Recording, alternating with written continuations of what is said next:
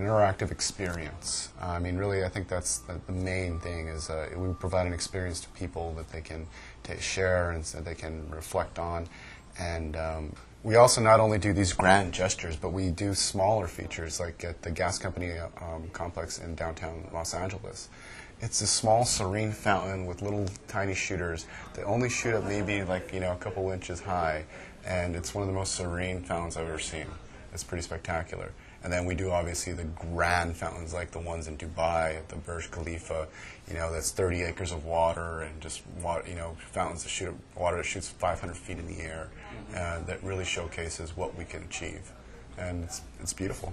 Obviously, these are optical quality lenses, and um, light that is several thousand lumens, you know, that uh, is required to make these amazing shows. So the lenses have to be as clear as possible. And uh, we also maintain a WET standard that, you know, if it's not done correctly, then it's not done at all.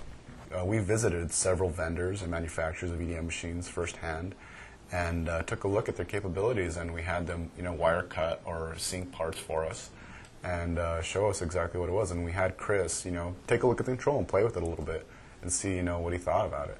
And I mean, most of the other manufacturers were pretty standard, and he had familiarity with their controllers.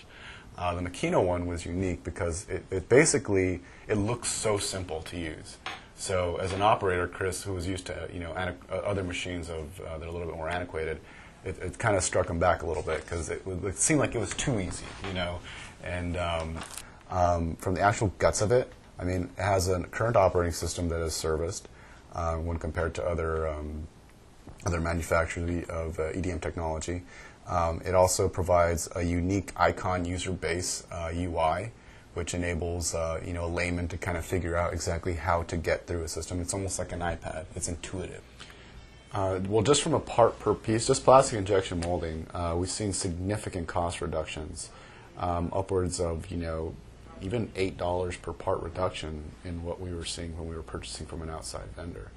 Uh, from insourcing EDM technology, obviously the scheduling is you can't quantify that because now you've improved you know weeks at a time, and that has no you know designated numbers attached to it. Uh, and that's probably more important than the actual cost savings of outsourcing is the capability and the schedule gain. But from a cost perspective, I mean, for every job, we're probably saving you know thousands of dollars in EDM outside EDM work. I mean, in this machine, we're looking at a projected ROI of probably two and a half years. I mean, what's important to us is you know we have to manufacture molds uh, to a high degree of accuracy, and Makino has provided us the ability to do that.